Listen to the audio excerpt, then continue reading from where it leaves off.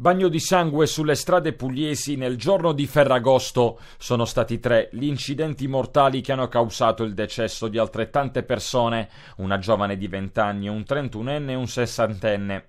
Il primo fatale impatto è avvenuto nella notte tra sabato e domenica sulla strada provinciale 123 che collega Pulsano a Monacizzo in località Bagnara nel Tarantino. A perdere la vita un 31enne che a bordo della sua moto, una Honda Phantom, è finito in un terreno incolto. Quando i soccorsi sono giunti sul posto hanno accertato la morte sul colpo del giovane. Poche ore più tardi è avvenuto il secondo tragico impatto sulla provinciale che collega Manduria a Francavilla Fontana nel Brindisino.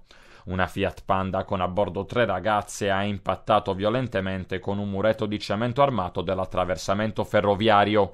La ventenne originaria di Ostuni che occupava il sedile posteriore è morta sul colpo, mentre l'altra passeggera ventenne e la ventitreenne conducente sono state ricoverate in ospedale con ferite ma non in pericolo di vita.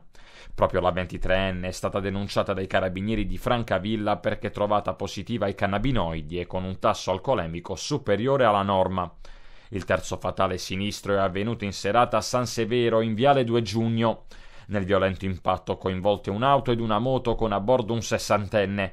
L'uomo, un fruttivendolo molto conosciuto in città, è stato trasportato d'urgenza presso l'ospedale Teresa Macelli Mascia, ma è morto poco dopo per le gravi ferite riportate.